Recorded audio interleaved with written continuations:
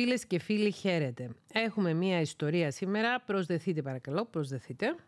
Γιατί μαζί μου δεν έκανε σοβαρή σχέση και με αυτήν τώρα κάνει. Αγαπημένη μου Θέκλα, ελπίζω να είσαι καλά. Είμαι καλά, ευχαριστώ. Σε ευχαριστώ πάρα πολύ για όλα τα βίντεο που έχεις ανεβάσει και σου ζητώ συγγνώμη για όλα αυτά που θα σου γράψω. Είμαι η Τάδε, λέει το όνομά της, είμαι 27 χρονών και τα τελευταία τρία χρόνια ταλαιπωρώ τον εαυτό μου.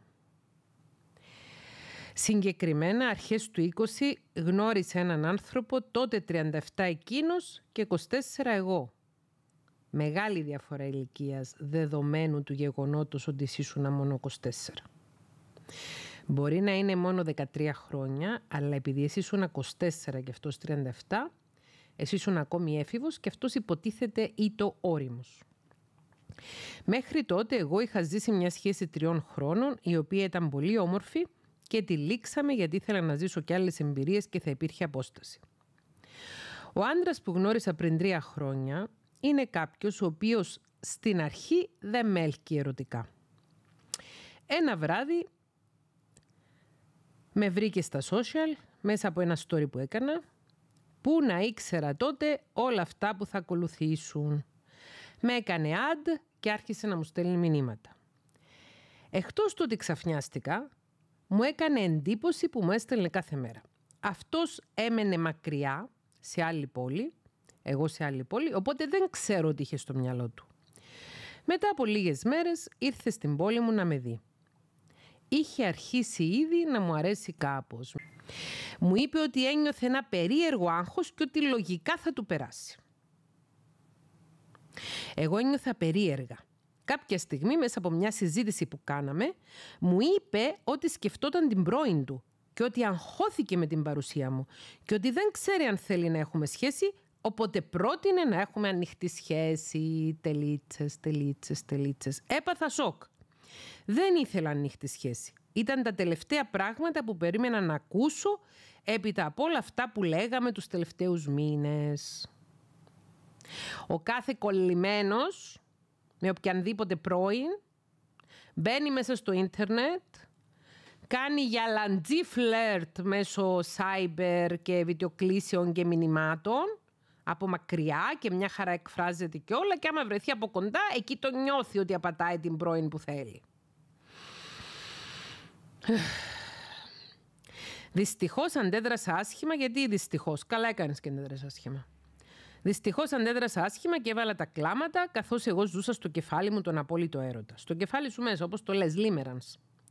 Αφού ηρεμήσαμε πριν φύγω, συμφωνήσαμε να δώσουμε λίγο χρόνο να δούμε τι θα γίνει και απλά συνεχίσουμε όπως ήμασταν, καθώς ένιωθε και για εμένα έλξη και ήταν μπερδεμένος. Έπρεπε να του πεις εκείνη την ώρα, πήγαινε στο καλό. Άι και έφυγες. Τι σημαίνει μετά από τόσους μήνες που κάθε μέρα, κάθε μέρα μηνύματα, βιντεοκλήσεις, φλερτ, ιστορίες κακά μαζί σου και μετά που πήγες και μετά που περάσετε ένα βράδυ ήταν η μέρα ήταν μπερδεμένος και ήθελε την πρώην του και άλλα ήθελε και σένα. Ένα άχιστο καλό και έπρεπε να τον αφήσεις να τον παρατήσεις σύξυλο εκείνη την ώρα. Red flag που εντόπισα ακόμα και εγώ που κοιμάμαι όρθια, δηλαδή κόκκινη σημαία την οποία εντόπισες ακόμη και εσύ που κοιμάσαι όρθια, μου αρέσει αυτό ο σαρκασμό σου, το βράδυ μετά από όσα είπαμε, ήθελε να κάνουμε έρωτα, αλλά αρνήθηκα καθώς δεν είχα διάθεση και ήμουν λυπημένη. Απλώς γύρισε πλευρό και κοιμήθηκα χωρίς να ρωτήσει πώς ένιωθα. Εκεί ακριβώς ήταν ξεκάθαρο ότι σε εργαλειοποιούσε. Εκεί ακριβώς ήταν ξεκάθαρο ότι βρήκε μια κοπέλα την οποία χρησιμοποιήσω, χρησιμοποιήσω σαν αντικείμενο ξεδώματος, ευχαρίστησης και ούτω καθεξής. Εγώ βγήκα στον μπαλκόνι λυπημένη και έκλαιγα. Την επόμενη μέρα έφυγα.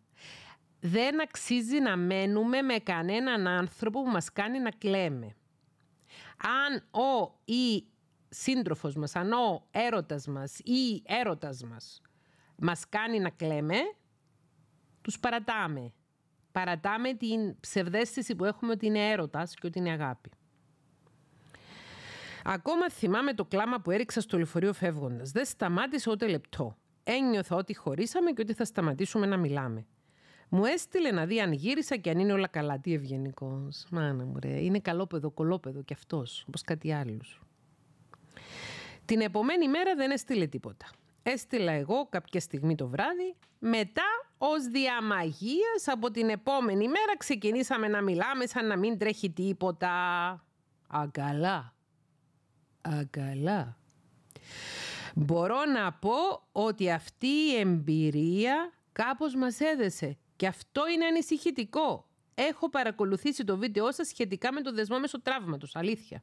Αυτό σκέφτηκα και εγώ αμέσως, ότι είναι trauma bonding, τραυματικό δέσιμο. Η αλήθεια είναι ότι ένιωθα ότι ήθελα να τον βοηθήσω να ξεπεράσει όσο τον προβληματίζουν, να γίνει νοσηλεύτρια του δηλαδή, η ερυθροσταυρίτησα του. Γενικά ήθελα να τον κάνω ευτυχισμένο.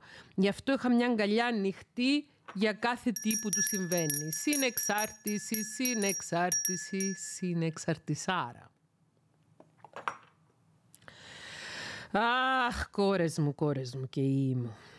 Βρεθήκαμε ξανά μετά από λίγο καιρό και προκειμένου να μην δημιουργηθεί ένταση, δεν ανέφερα κάτι για το αν έχουμε σχέση ή όχι. Μάνα μου τον κακομύρι, να μην, τον, να μην ενταθεί. Περάσαμε πολύ όμορφα, μπορώ να πω, ωστόσο ένιωθα περίεργα. Πώς να μην νιώθεις περίεργα κάτω από αυτές τις συνθήκες; Σε θέλω, δεν σε θέλω, έχουμε σχέση, δεν έχουμε σχέση, είναι ανοιχτή σχέση, κλειστή σχέση, έχει σχέση, όλα αυτά. Δεν μπορούσα να ηρεμήσω και νιώθα μεγάλη ανασφάλεια λόγω της ελευθερίας που ήθελε, της ελευθεριότητας που ήθελε, θα σου πω εγώ. Όχι, έχει διαφορά η ελευθερία από την ελευθεριότητα. Και ψάξω το λεξικό. Δηλαδή στη διαφορά μεταξύ ελευθερίας και ελευθεριότητας. Ή αν έχουμε φιλολόγους και φιλολογίζοντες εδώ να μας εξηγήσουν στα σχόλια τη διαφορά μεταξύ ελευθερίας και ελευθεριότητας. Θα το κάνουν καλύτερα από μένα να το επεξηγήσουν. Αχ, είχα αρχίσει να χάνω τον εαυτό μου και να μου γίνεται έμμονη ιδέα. Το συζητήσαμε μια φορά όταν πήγα να το δω στην πόλη του και μου είπε ότι είναι μια φάση που θα περάσει. Α, ήξερε κιόλας ο χρυσός μου, ήταν και ψυχολόγος. Ηρωνεύομαι, κατάλαβες. Είχε περάσει ένας χρόνος περίπου από τη γνωριμία μας και γνωρίζαμε αρκετά ο ένας τον άλλον. Η χαρά μου όταν πήγα στην πόλη του δεν περιγράφεται. Και εκείνος ήταν χαρούμενος. Α, ε, μετακόμισε στην πόλη του εσύ. Α, μετακόμισε στην πόλη του. Οκ. Και εκείνος ήταν χαρούμενος και με βοήθησε τόσο πολύ να βρω σπίτι. Πηγαίναμε βόλτες και όλα ήταν τέλεια. Αλλά κράτησε μόνο για 15 μέρες. Ένιωθα ότι έχουμε σχέση και κάναμε πράγματα που κάνουν όλα τα ζευγάρια. Πηγαίναμε βόλτες, σούπερ μάρκετ, κοιμόμασταν μαζί, κανονίζαμε πράγματα. Ό,τι και να κάναμε μου φαινόταν υπέροχο γιατί απλώς το κάναμε μαζί. Αυτό είναι η παλαβομάρα της συνεξαρτήσεως αυτή. Μετά από λίγες μέρες όμως ξεκίνησε να νιώθει πίεση, κυριολεκτικά. Του ανέβηκε όντως η πίεση και είχε ταχυκαρδία. Είναι κλειστός άνθρωπος και δεν εκφράζει κατευθείαν όσα νιώθει. Ε, κοίταξε, είναι και κάποια ηλικία στα 39 για να ανεβάσει η πίεση. Ναι.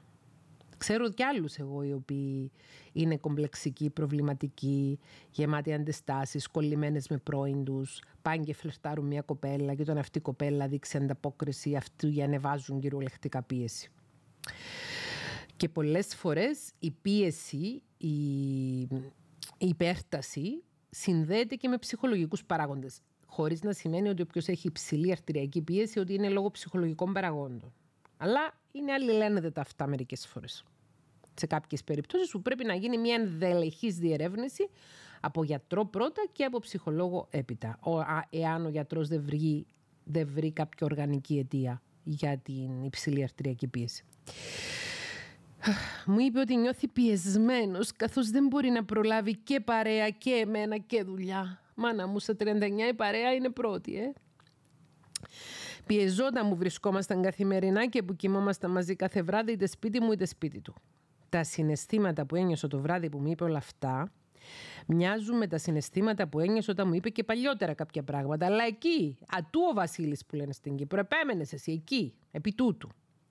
Η αλήθεια είναι ότι ένιωθα ότι με αγαπάει και επειδή δεν είχα κύκλο στην πόλη του, ήθελε να μου κρατάει παρέα. Αλλά τάπεξε, μάνα μου, να το λυπηθούμε κιόλας τώρα. Τάπεξε που είχε γυναίκα να του μαγειρεύει, να του κάνει σεξ. Τάπεξε, καημένος. Τα έπαιξε. Για καλό πήγε να κοιμάται μαζί σου κάθε βράδυ και μετά τα έπαιξε. Θα το λυπηθούμε κιόλας. Ναι. Αχ, Θεέ μου, Θεέ μου, Θεέ μου, Θεέ μου. Τους υπόλοιπους τέσσερις μήνες που έμεινα στην πόλη του, τα πράγματα πήγαιναν σχετικά καλά, αλλά εμένα όλη αυτή η ανασφάλεια της ελεύθερης σχέσης μου δημιουργούσε εξάρτηση, καθώς ήθελα να είμαι συνεχώς μαζί του και μόνο τότε ένιωθα ηρεμία και ευτυχία, παροδική. Φαντασιακή ηρεμία και ευτυχία όσο ήσουν μαζί του, όπως τα ναρκωτικά. Όση ώρα είσαι ανεβασμένος από τα ναρκωτικά, νιώθεις ωραία. Μετά, άμα θες τη δόση σου, δεν νιώθεις ωραία. Εξάρτηση. Όχι μόνο συνεξάρτηση και εξάρτηση με αυτόν τον άνθρωπο. Γενικά τα συναισθήματα ήταν ακραία. Είτε προς τη χαρά όταν τον έβλεπα, είτε προς τη λύπη όταν κάτι δεν πήγαινε καλά. Δεν πήγαινε καλά. Ένιωθα όμως ότι χάνω τον εαυτό μου. Ε, Βεβαίως έχανες τον εαυτό σου. Τι θα έχανες τον εαυτό μου, θα έχανες τον εαυτό σου. Θα έχανες. Εγώ τον εαυτό μου τον έχανα μόνη μου σε άλλες παρόμοιες βλακίες. Δεν μπορούσα να σκεφτώ τίποτα άλλο. Ζήλευα, αλλά δεν έλεγα κάτι, μιας και δεν είχα το δικαίωμα, καθώς δεν είχαμε σχέση. Καταλαβαίνετε τώρα γιατί η ελεύθερη σχέση συμφέρει μόνο αυτόν που την προτείνει. Το καταλαβαίνετε. Και ότι αν δεν θέλουμε ελεύθερη σχέση δεν πρέπει να το αποδεχόμαστε. Σηκωνόμαστε και φεύγουμε και τον αφήνουμε παντελώς ελεύθερο να κάνει, να κάνει ελεύθερα ό,τι γουστάρει. Όλα αυτά ήταν πρωτόγνωρα συναισθήματα, μιας και στην πρώτη μου σχέση ποτέ δεν ένιωσα ανασφάλεια ή απόρριψη.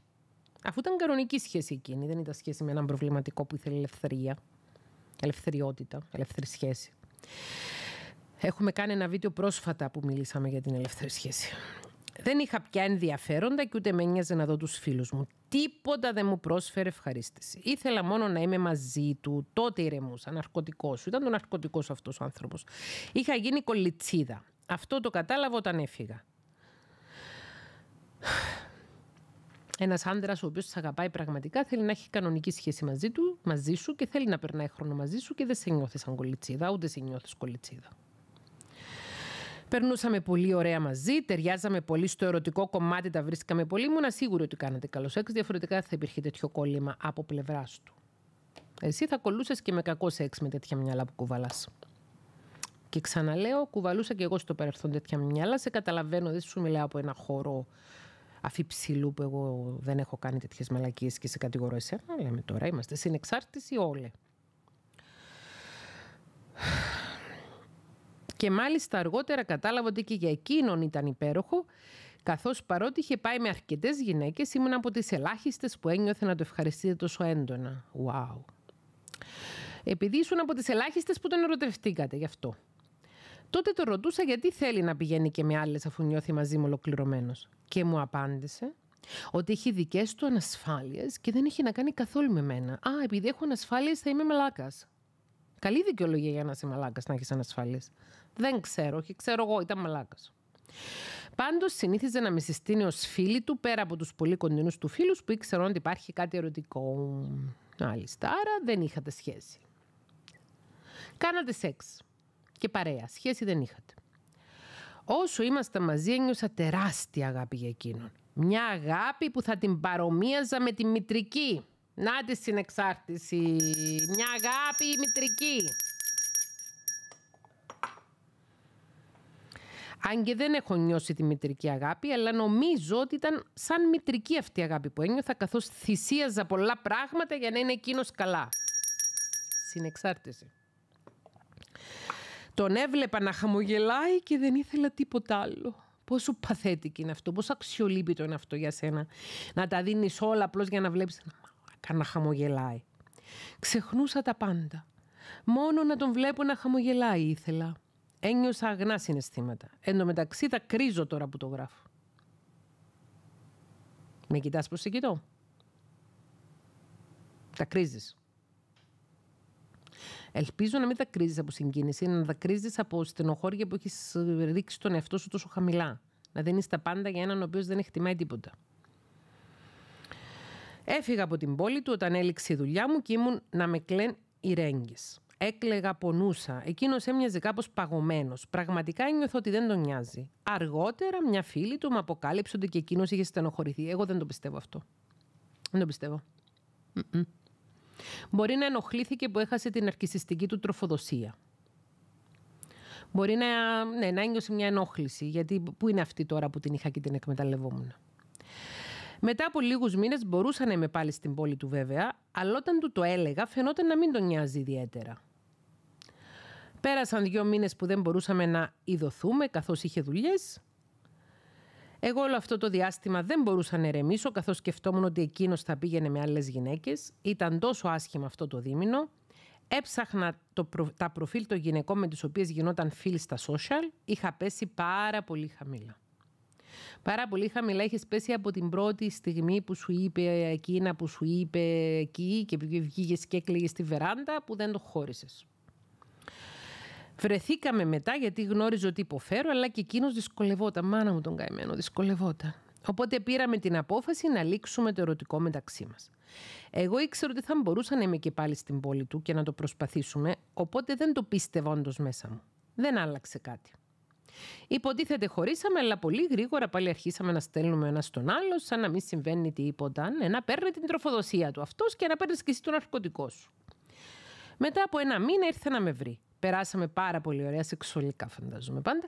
Και ήταν όλα όμορφα. Μέχρι που πριν φύγουμε, μου είπε ότι είχε πάει ήδη με δύο γυναίκες, κάτι που εγώ το ρώτησα.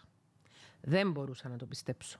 Μιλούσαμε κάθε μέρα στο τηλέφωνο. Είχαμε ζήσει τόσο όμορφα πράγματα. Μου έστελνε κάθε μέρα.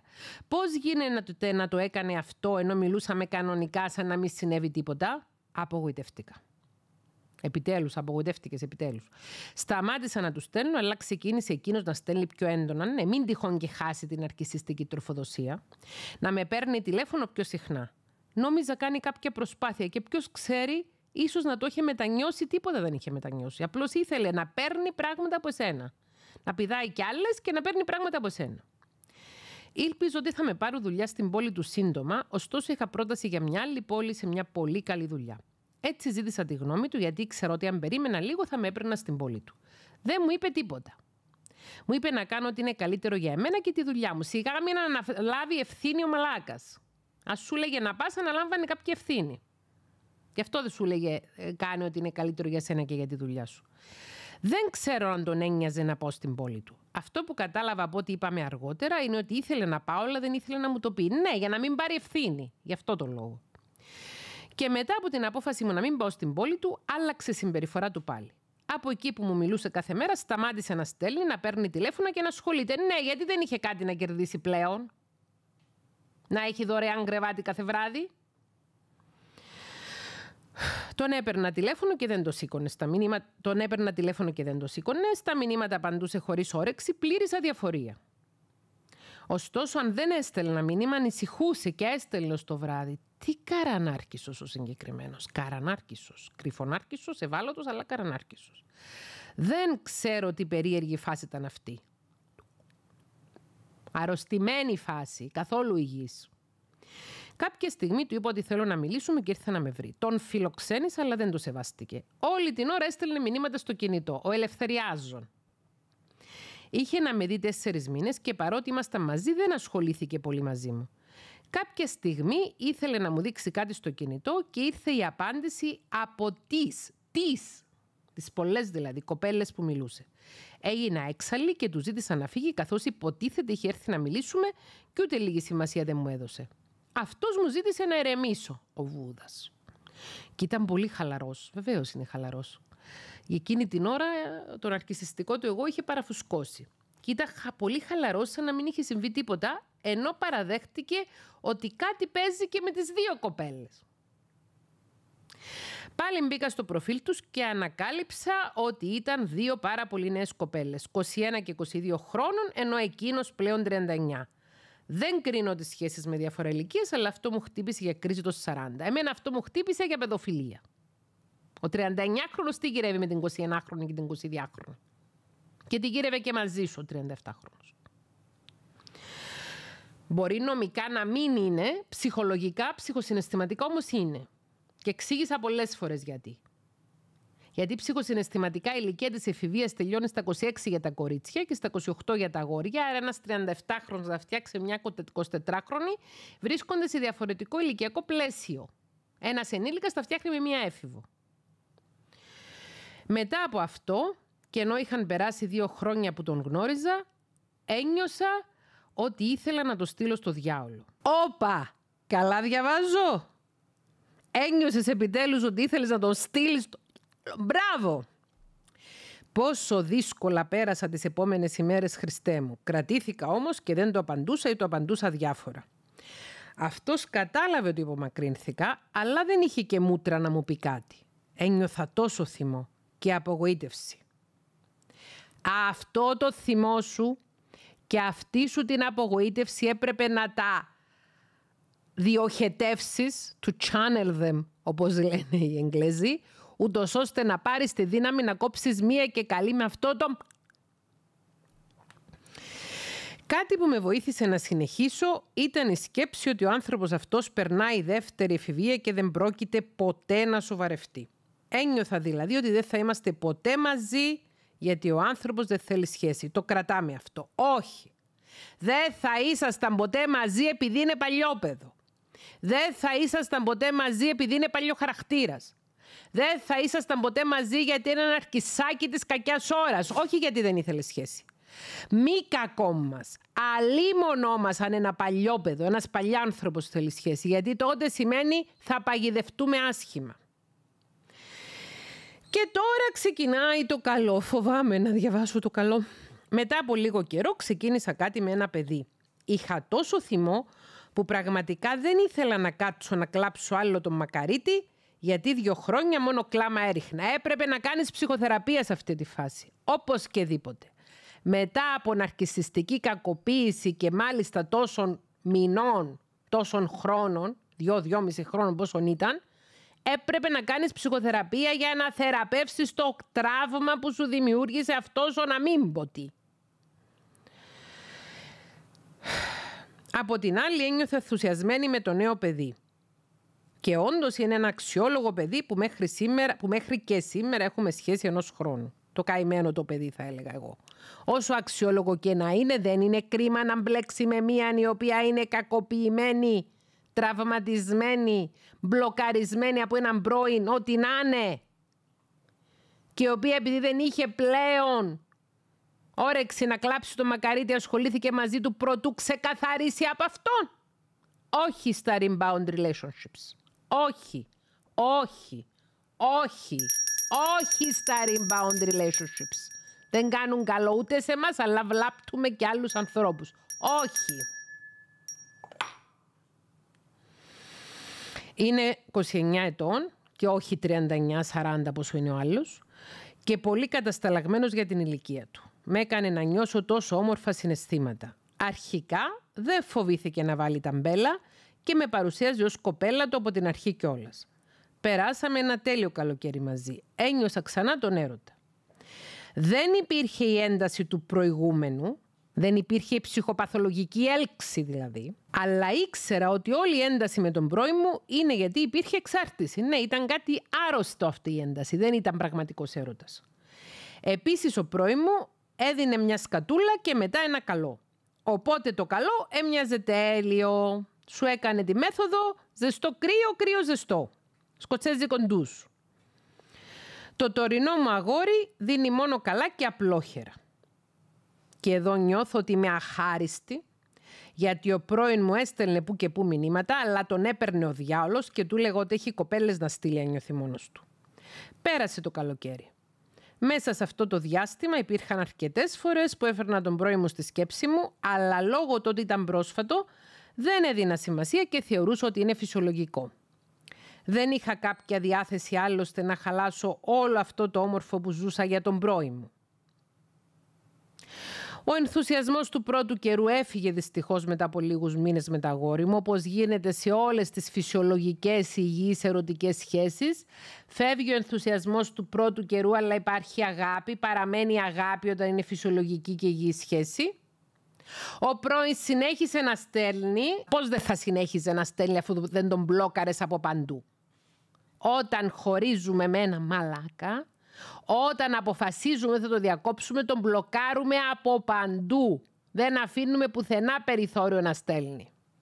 Αλλά για να μπορέσουμε να το κάνουμε αυτό πρέπει να τελειώσει και για να τελειώσει πρέπει να κάνουμε και ψυχοθεραπεία.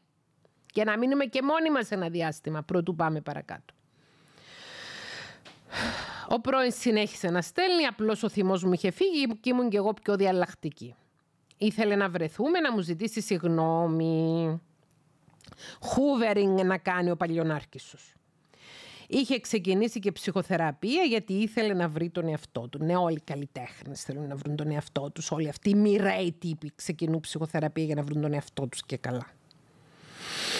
Είχε χωρίσει και με μια κοπέλα που είχα για ένα μικρό διάστημα σχέση και ένιωθε ευάλωτος.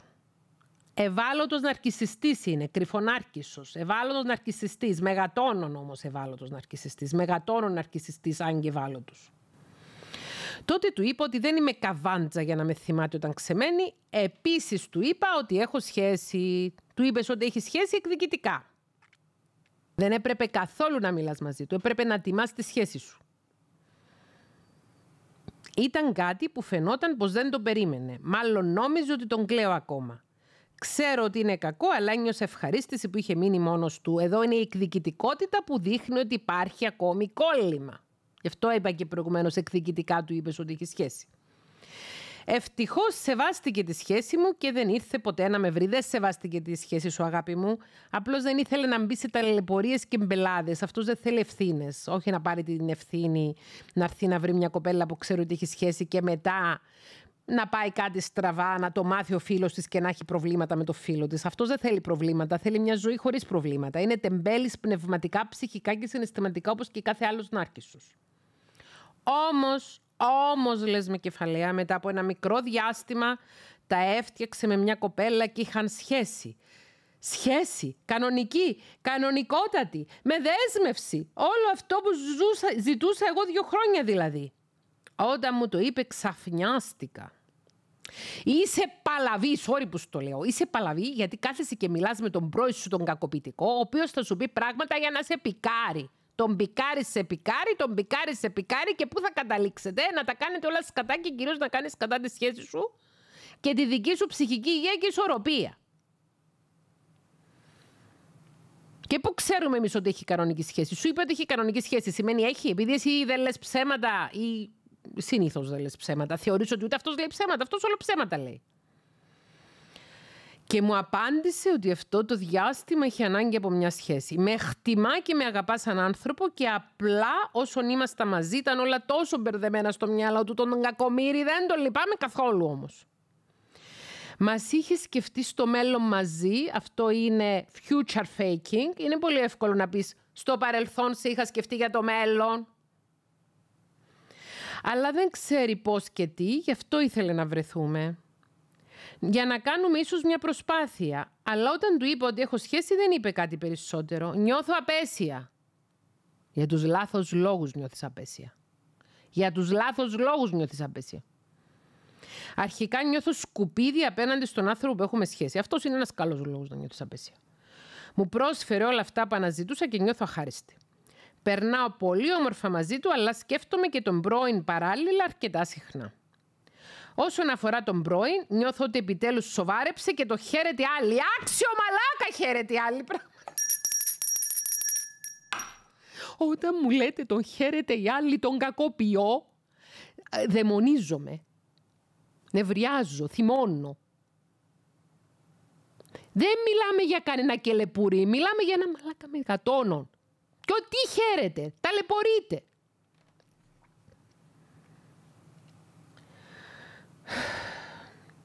Έκατσα εγώ, χτυπήθηκα, πόνεσα και τον βρήκε έτοιμο. Έτοιμο για να κακοποιήσει ξανά. Έτοιμο για να συνεχίσει ένδοξος. Ξέρεις αυτός ο 40χρονο σε περίμενε εσένα που είσαι τώρα 27 να πήγαινες να τον έφτιαχνες. Έχει ήδη παγιωμένη την προσωπικότητα του και είναι ιδιαίτερα προβληματική προσωπικότητα με βάση όσα περιγράφεις ότι κάνει. Επίσης νιώθω ότι υπάρχει ένα αποθυμένο μέσα μου που θέλει να ζήσει ολοκληρωμένα πράγματα με τον πρώην μου. Ναι, πρέπει να σε κακοποιήσει ολοκληρωτικά. Το λίγο που σε κακοποίησε δεν φτάνει. Και να λάβω την αποδοχή που ποτέ δεν δέχτηκα. Όπως χτυπιόμαστε ανελαίητα όλοι εμείς οι προβληματικοί συνεξαρτημένοι για να πάρουμε αποδοχή από τους γονείς μας που δεν πρόκειται να πάρουμε ποτέ, έτσι και εσύ δεν θα πάρεις ποτέ αποδοχή από εκείνον τον να μην το χαρακτηρίσω. Τσαντίστηκα πάρα πολύ. Από τότε που έμαθα ότι έχει κανονική σχέση, το σκέφτομαι συνέχεια. Εγώ αμφιβάλλω αν έχει κανονική σχέση. Έτσι στο για να σε πικάρει. Αλλά και να έχει είναι κρίμα η κοπέλα. Πρέπει να λυπάσαι την κοπέλα. Η φυσιολογική αντίδραση είναι να λυπάσαι την κοπέλα εάν έχεις ξεφύγει από τα δίχτυα του. Δυστυχώς όμως δεν έχεις ξεφύγει. Στο μυαλό μου είχα κάνει μια απομυθοποίηση με όλα αυτά που έκανε με τις πιτσιρίκες. Και τώρα βλέπω ένα άλλο του πρόσωπο. Αυτό που θέλει να σου δείξει για να σε πικάρει. Ξύπνα. Τελικά είχε δίκιο. Ήταν όντως μια φάση όλο αυτό που περνούσε όσο ήταν μαζί μου. Είναι ένας μαλάκας και ε, τον εαυτό που έχεις αυτό δίνεις. Είτε είναι σε ελεύθερη σχέση, είτε είναι σε σοβαρή σχέση, είτε είναι σε γάμο. Πρέπει να ξεκαθαρίσουμε επιτέλους και να βγάλουμε από το μυαλό μας αυτή τη φαντασίωση ότι αν η σχέση γίνει γάμος ή γίνει συγκατοίκηση ή γίνει σοβαρή σχέση, αλλάζει το ποιόν του ανθρώπου με τον οποίο κάνουμε τη σχέση. Και σε γάμο να μπει και σε σοβαρή σχέση να μπει δεν θα αλλάξει το ποιόν του. Είναι εύκολο να στείλεις στο διάλογο κάποιον που τσιλιμπούρδιζε αριστερά και δεξιά. Αλλά τώρα που φαίνεται να είναι στη φάση που ήθελα κι εγώ, μου φαίνεται και λεπουρητή και λεπουρικόρη που έδειξε τόσες φορές αναισθησία προς τα συναισθήματα σου. Που έδειξε τόσες φορές έλλειψη ενσυναίσθησης. Που σε παραμύθιαζε, που σου έκανε gaslighting, που σε έβγαζε τρελή, που σου έχει πει τα ψέματα του αιώνα και συνεχίζει να στα λέει. Και εσύ ανοίγεις την μπουκαπόρτα και μπαίνει μες στη ζωή σου. Νιώθω άσχημα που ο έρωτάς μας έμεινε μίσος. Ούτε έρωτας είναι, ούτε μίσος είναι αυτό που έχεις. Αυτό που έχεις τώρα είναι άρρωστο κόλλημα. Και ούτε ήταν έρωτας ποτέ αυτό. Ήταν κάτι φαντασιακό. Ήταν ένα άσχημο παιχνίδι του μυαλού που έπαιξε μαζί σου, γιατί είναι άσχημος παλιό χαρακτήρα. Γιατί ούτε αποδοχή ένιωσα, ούτε αμοιβαιότητα. Ούκαν λάβεις παρά του μη έχοντος. Πρόσφατα μου είπε ότι και εκείνος με σκέφτεται. Α, θα κλάψω τώρα. Είμαι πάρα πολύ μπερδεμένη και δεν ξέρω τι να κάνω. Φοβάμαι πολύ, φοβάμαι αλήθεια ότι μετά από χρόνια μπορεί να μου πει σε θέλω έλα και εγώ να τρέξω παρατώντας παιδιά σκυλιά γατιά. Δεν μπορώ να σταματήσω να του μιλάω, δεν νιώθω ότι μπορώ να το κάνω. Έχω πιάσει τον εαυτό μου να σκέφτεται ότι αν υπάρχει ένα καλό αν χωρίσω με τον νυν, θα είναι ότι ίσως θα είναι πιο εύκολο να τα φτιάξω με τον πρώην. Και βάζεις και από μόνη σου αυτό που νιώθω τώρα, είναι αυτό το, το φατσούλι, αυτό το emoji που νιώθεις ότι κάνει έκρηξη στο κεφάλι σου. Έτσι με έχεις κάνει τώρα, τούρπο με έχεις κάνει. Νιώθω απέσια για το χαρακτήρα μου, καθώς είμαι αχάριστη που δεν εκτιμώ αυτό που έχω, γιατί νιώθω ότι δεν αγαπώ τον νυν όπως τον πρώην. Τον πρώην δεν τον αγαπάς. Με τον πρώην έχεις άρρωστο προβληματικό κόλλημα, αρρωστημένο κόλλημα έχεις με το πρώην. Δεν είναι αγάπη αυτό το πράγμα. Είναι οξία στην εξάρτηση. Και πρέπει άμεσα να ξεκινήσεις ψυχοθεραπεία. Άμεσα. Άμεσα. Άμεσα. Το αγόρι μου είναι πραγματικό ότι καλύτερο μπορούσε να μου τύχει, αλλά το μυαλό ή η καρδιά δεν ξέρω είναι αλλού. Η ψυχική σου υγεία είναι αλλού. Η ψυχική σου ισορροπία είναι αλλού. Είσαι άρρωστη μες συνεξάρτηση. Πρέπει οπωσδήποτε να κάνεις άμεσα ψυχοθεραπεία. Νιώθω άσχημα απέναντί του. Εννοείται δεν τον έχω απατήσει, αλλά και μόνο που έχω τέτοιες σκέψεις είναι πολύ άσχημο. Ναι, είναι συναισθηματική επιστία αυτή. Δεν του αξίζει γιατί είναι ένας καλός άνθρωπος. Δεν θέλω να τον πληγώσω σε καμιά περίπτωση, αλλά νιώθω ότι δεν το σέβομαι όσα κάνω. Καλά νιώθεις και το γεγονός ότι έχεις φιλότιμο και το γεγονός ότι έχεις υγιή συνείδηση είναι ένα καλό χαρακτηριστικό δικό σου, το οποίο μου δίνει ελπίδα και θάρρος ότι άμα ξεκινήσεις αμέσως οξία ψυχοθεραπεία, θα μπορέσεις να βρεις τα πόδια σου και τα πατήματά σου. Έχω πάθει αιμονή μάλλον με τον πρωί μου. Μάλλον, σίγουρα έχεις πάθει αιμονή. Μπαίνω συνέχεια στο προφίλ του και στις κοπέλας του. Θα φτάσω τα 60 και θα το σκέφτομαι. Α, καλά. Μετά από 30 χρόνια θα το σκέφτεσαι. 33. Είμαι απελπισμένη γιατί δεν μπορώ να χαρώ αυτό που ζω σκεπτόμενοι όσα δεν έζησα. Είναι, θα ήθελ, είναι τόσες πολλές οι σκέψεις μου θα ήθελα να, που θα ήθελα να μοιραστώ μαζί σας, αλλά ήδη έχω γράψει άπειρα. Συγγνώμη αν σας κούρασα με την ιστορία μου. Με το κόλλημα σου με στενοχωρήσει. Με έχεις... Είδες πόσο θύμωσα; Λοιπόν, λοιπόν, άμεσα, κατευθείαν, ψυχοθεραπεία, αμέσως, έχεις πρόβλημα, έχεις αρρωστήσει με συνεξάρτηση. Δεν υπάρχει ε, sick χρησιμοποιείται ο όρος «έχεις αρρωστήσει με συνεξάρτηση». Το έχουμε πει και στα ψυχολογικά εργαστήρια που έχουμε κάνει πρόσφατα τα workshops για τη συνεξάρτηση ότι δεν είναι καταχωρημένη ως ψυχική διαταραχή ακόμη, Αλλά χρησιμοποιώ αυτό τον όρο έχεις αρρωστήσει για να τονίσω πόσο σοβαρό είναι το ζήτημα το ψυχολογικό που αντιμετωπίζεις. Έχεις αιμονή με τον πρώην σου, είσαι κακοποιημένη ψυχολογικά από τον πρώην σου και ακόμη συνεχίζει ο άνθρωπος αυτός και σου παίζει παιχνίδια του μυαλού. Σε χειρίζεται, σε χειραγωγεί, σου κάνει gaslighting. Ο πρώην σου δεν είναι σε καμία περίπτωση και λεπούρη. Είναι ένας επέσχυντος άνθρωπος. Είναι ένας άθλιος άνθρωπος. Ο οποίος δεν έχει καμία ανάληψη ευθύνης. Δεν έχει δείξει σε όσα έχεις βιώσει εσύ ίδια μαζί του ούτε οριμότητα, ούτε υπευθυνότητα, ούτε ενσυναίσθηση, ούτε καλοήθεια, ούτε τίποτε. Έχει δείξει, έχει δείξει τα πιο άσχημα χαρακτηριστικά. Το υγιές θα ήταν να τη λυπάσαι την καημένη την κοπέλα που μπλέξε μαζί του, αν όντως υπάρχει κοπέλα που έχει κάνει σχέση και δεν σου λέει ψέματα. Είναι ένα άρρωστο δέσιμο αυτό που έχεις με τον πρώη σου. Είναι μια ψυχοπαθολογική έλξη αυτή που νιώσατε και αυτή που νιώθεις. Σε επέλεξε αυτός ως αρπακτικό που είναι, ως νάρκισσος που είναι, είναι ξεκάθαρο ότι σε επέλεξε γιατί είδε μια αβαλωτότητα στο πρόσωπό σου όπου θα μπορούσε να παίξει όλα αυτά τα ψυχολογικά παιχνίδια και να νιώσει ότι ρουφά ενέργεια και ζωντάνια από ένα νεαρό κορίτσι και να παίρνει συνεχώς επιβεβαίωση ότι την κακοποιεί, την πληγώνει, την προβληματίζει και αυτή τον τρέχει ξοπίσω Τώρα έχει ενοχληθεί που έχασε την τροφοδοσία του και ήρθε πιο δυναμικά να σου πει και καλά ότι σκεφτόταν ότι εσείς οι δυο θα τα φτιάχνατε. Πραγματικά έχει στυφλωθεί. Έχει στυφλωθεί πραγματικά. Δεν έχει καμία διάθεση να τα φτιάξετε ποτέ. Ποτέ. Η μόνη διάθεση που είχε ήταν να σε κακοποιεί ψυχικά και συναισθηματικά. Το οποίο επιτυχάνει μέχρι σήμερα. Οπωσδήποτε πρέπει να κάνεις ψυχοθεραπεία. Οπωσδήποτε. Οπωσδήποτε να διαλέξεις ένα ψυχολόγο ο οποίος να έχει γνώση περί ναρκισισμού, περί συνεξάρτησης και περί αυτών των άρρωστων δυναμικών σχέσεων. Περί τραυματικού δεσίματος, ψυχοπαθολογικής έλξης και ούτω καθεξής. Μου το υπόσχεσαι; Σε παρακαλώ πολύ. Θέλω να μου το υποσχεθείς. Στα σχόλια παρακαλώ να είστε ευγενικοί με την κοπελά, γιατί αρκετά της έχω φωνάξει εγώ και η κοπέλα έχει θέμα με τη συνεξάρτηση, δεν είναι ανήθικη. Αν ήταν ανήθικη, δεν θα νιώθε ενοχές και τύψεις, ούτε θα μου στέλνε με ένα τέτοιο email γεμάτο με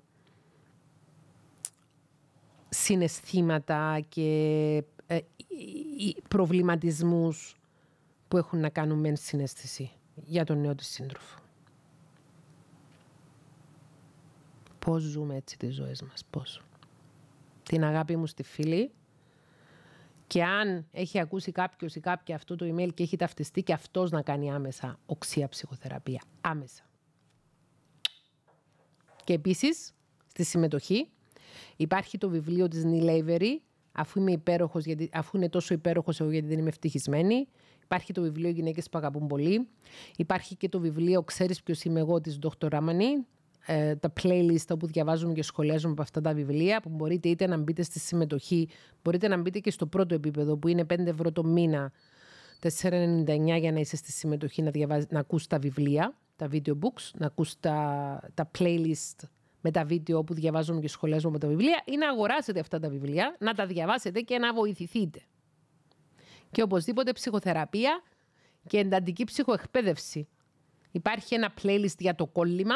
Να ακούτε αυτό το playlist για το κόλλημα μέρα νύχτα. Μέρα νύχτα, μέρα νύχτα να μπουστάρετε τον εαυτό σας για να μην πέφτετε στην παγίδα του hoovering, του κάθε ναρκισακίου, ο οποίος άμα δει ότι έχει προχωρήσει το προηγούμενο θύμα του, κάνει τα πάντα για να το κρατάει εκεί δεμένο, προσκολλημένο, για να το απομυζεί συναισθηματικά.